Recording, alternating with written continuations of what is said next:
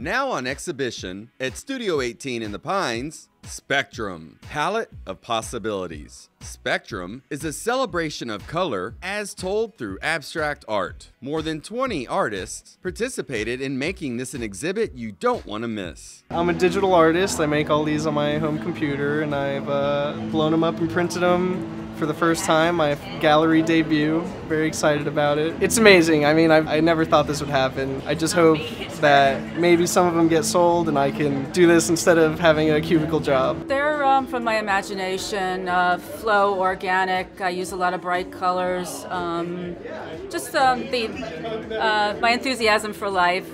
I would say energy. That's really what inspires an artist, and that's really what inspires Blue Lunas.